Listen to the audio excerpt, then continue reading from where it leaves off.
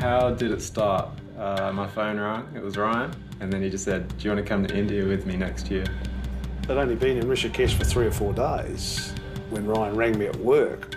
I could sense that something wasn't right. The thing that he said to me was, I've learned everything I need to learn in India. I want to come home, and I want to come home now. We all got a text message. I think I got mine about three in the morning saying, I love you, and that's all it said. We really feel like we need to do one more search. You understand English? Right, no English. Disappear. Oh, okay. okay. Sure, good luck. We asked Indian media to help us find our son.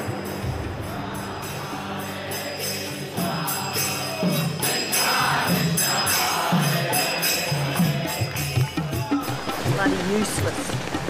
Everybody's calling police, police, police. Police have a thousand problems. Yeah, I reckon it was near that temple. Must have been. What makes them think Yes. it's Ryan? I'm just hoping not crazy it's Ryan.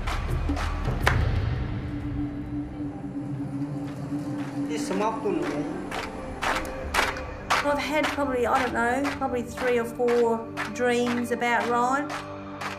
I think I relish those dreams in a sense because he's there and he's normal. Um, yeah, it just keeps you in touch with with him as he was when he left.